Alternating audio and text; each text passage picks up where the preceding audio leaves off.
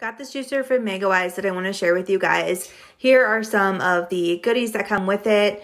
Um, it has a reverse button, soft for more softer items like oranges, hard for beets, and then obviously an off button. You've got your two containers, one for your juice and one for your compost. It has the actual juicer part. This is where the compost comes out. There's the juice part. There's the kind of screwy thing that goes in it, and obviously that's where you put everything in.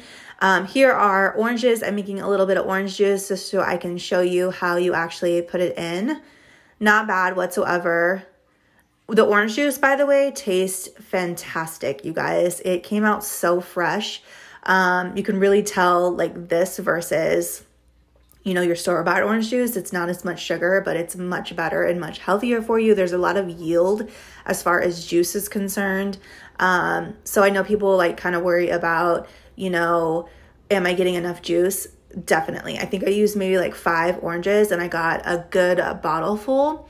Now, I do use it for other things like not just orange juice, but I do juice in general. Um, so, of course, this one I use the soft um, button for, but there is a hard button one, and I actually made some beet, spinach, and some, I think it's ginger and lemon. It was really, really good.